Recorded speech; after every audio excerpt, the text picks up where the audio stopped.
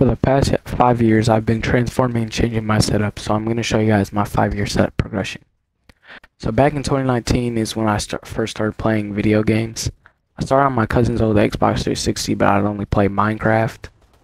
But when 2019 hit, I got a Nintendo Switch Lite, Sword and Shield Edition. During this time, I would play Pokemon Unite, FIFA 22, and Fortnite. I started playing Fortnite around the time Chapter 2 started, put most of my hours into Fortnite, becoming one of the best Nintendo Switch players at the time, even winning a Nintendo only tournament. I played on Nintendo until 2020 when the pandemic started and I asked for a TV for my birthday. I got a 1080p 120 Hz TV and I still had my Nintendo until a week later I got my Xbox Series S. On there I would play games like Halo, Fortnite still, Rocket League, Overwatch 2, Far Cry 5, Apex Legends, and COD.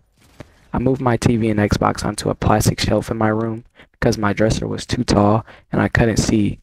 I sat on my dad's old office chair that gave me outrageous back pains. I was finally able to get a source of content creation as soon as I got my Xbox because Nintendo had no recording software, so I started streaming.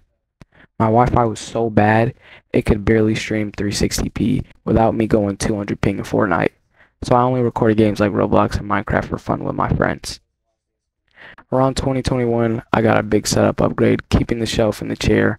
I went from my great grandma's old keyboard and mouse to Black Widow TKL V3.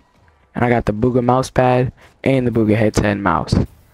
At this point, I finally started popping off in Fortnite tournaments and was really getting good high placements.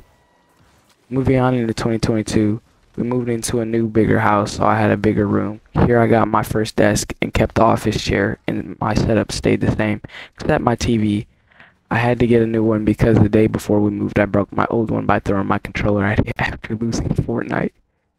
Fast forward to 2023, I got a PS4, which I recorded a couple videos on until my dad took it for himself. I got an Xbox cooler with my new gaming chair that is way more comfortable. On Christmas of 2023, I got an L-shaped desk and a brand new PC with another monitor that my big cousin gave me. I also went out in January of 2024 to get a desk-sized mouse pad also got a Gun MJO mouse and a Logitech keyboard, which ended up making my setup today. If you like the video, please hit sub. I'm trying to get to 1k subs by the end of the year. Tell me your thoughts and opinions.